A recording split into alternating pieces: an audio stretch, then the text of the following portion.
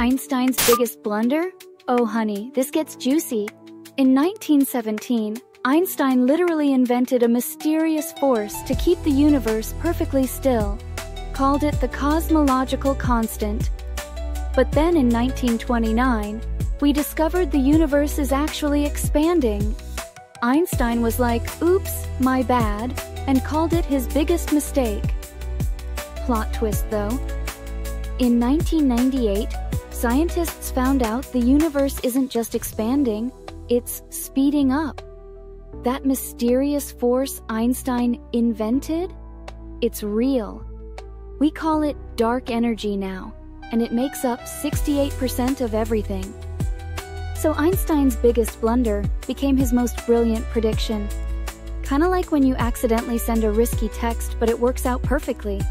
You humans are so relatable. Want more cosmic secrets that'll blow your mind?